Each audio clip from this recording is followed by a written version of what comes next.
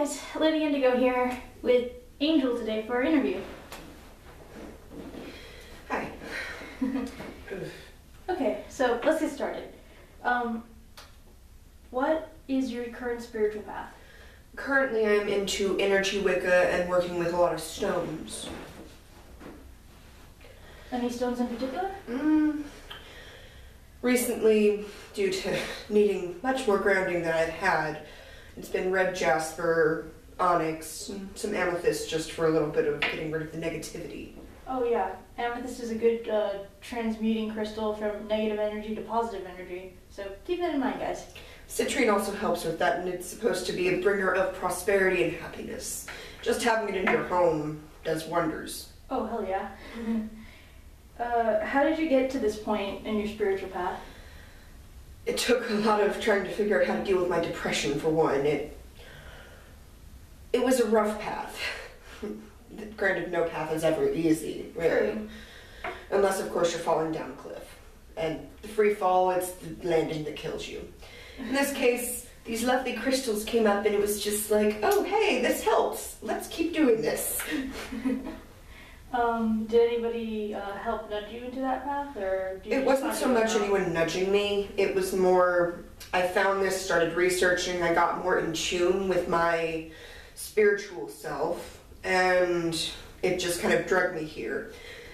It's almost like, you know, you have some, like this thing, like pushing you towards this, go, do it, and if, if you resist, it just makes things harder.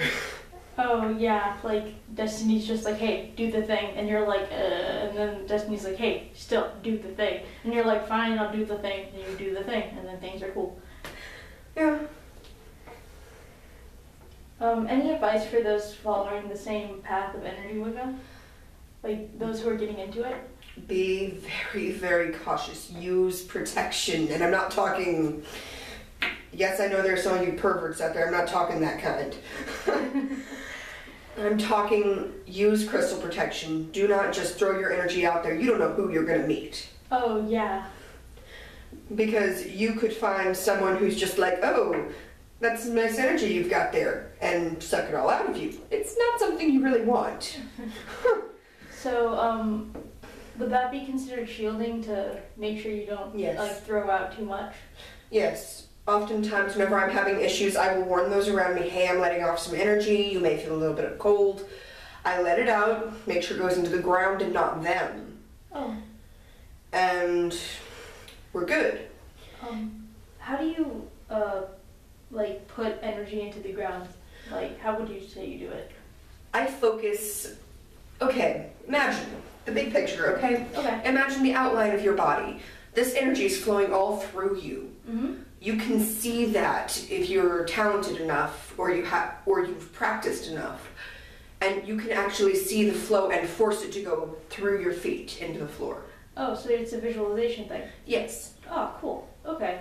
Yeah, I had somebody ask me about that a couple days ago because she had trouble with like stuff. And it's also like because I have anxiety from hell. And being in large crowds is well, hell. So I put this white light shield around myself so that I don't feel their energies because I'm very much energy aware, and that's a blessing and a curse. It's like you could feel the energy from a light bulb, but you can also feel the super angry energy of some guy who just had an argument with his wife 10 minutes ago. Oh, so like you're basically like a receptor that picks up a lot of stuff.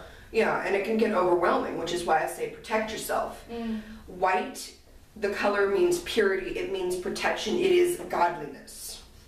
If you surround that from your with yourself from your heart chakra, that is where it originates. Your heart chakra, in my opinion, is the manifester of all of these energies. If you're angry, if you're feeling angry, the heart chakra is, you know, pretty much, you know, letting off this energy, almost warning people who are more aware. Hey, watch your words. Don't don't be stupid. Um, so one day um, I took one of my crystals, um, clear quartz, and then I also have another clear quartz cluster. Um, I let Angel hold on to it, and then we meditated together, and we saw some pretty cool stuff. Yeah, we actually saw what was that? This person with a deer head and a woman beside him. Oh yeah, the stag guy. Yeah, because we were actually talking about how my pentacle, the clasp moves down the left side of my neck. And it hadn't started doing that until recently, and we ended up going into this weird. First, we solved that because we were. Fo- I had crystals, she had crystals, and we we connect very easily. hmm And because it was, wasn't it before the moon turned red? Oh yeah, that was before the lunar eclipse. That was this year.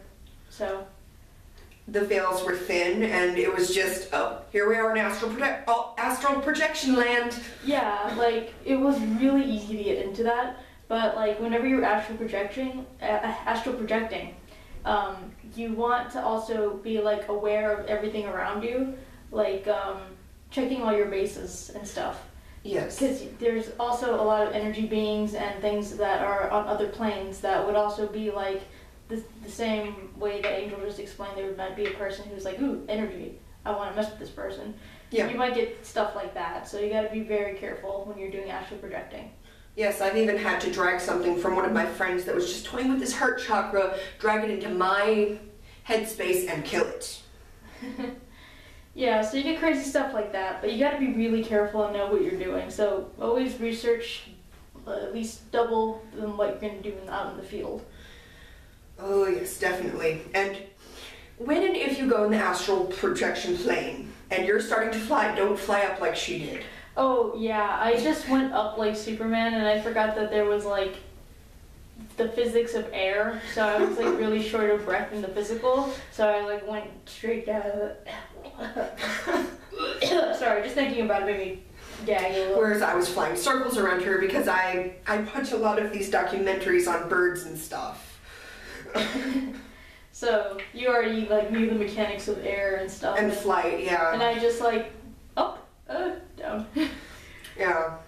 And when you're in your own headspace, mine, it pretty much think turtle. It's like a moving island, it's kind of fun.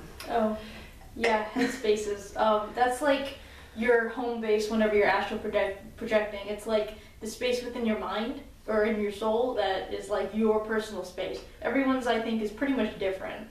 So Yeah. it's like your own room, but it's like on the astral plane.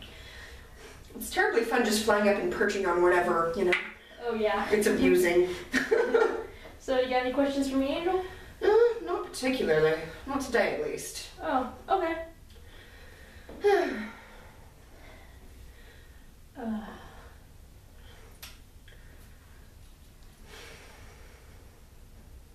Sorry, I'm connecting with my crystal just randomly. you're good. Even just touching crystals sometimes. Oh, yeah, that. Big help. especially if it's like if you're a really um, touchy person and you have something that's like a little rough has some texture to it it feels amazing especially since like every crystal has its own um, metaphysical property and with that property um, they emit like a certain attribute Even certain gemstone rings, like my ruby here. It's a lot of it is letting out, you know, passionate feelings and getting them to where they're positive. You know, it's also why the royals back then used them for, oh, I'm having trouble with my menstruation. The alchemist just like, here, this might help, and well, now it's uh, associated with a royal stone because it took a lot of money to be able to get a hold of one of them things. true so yeah um, i'm lady indigo and this is angel and we'll be catching you later Yep, peace.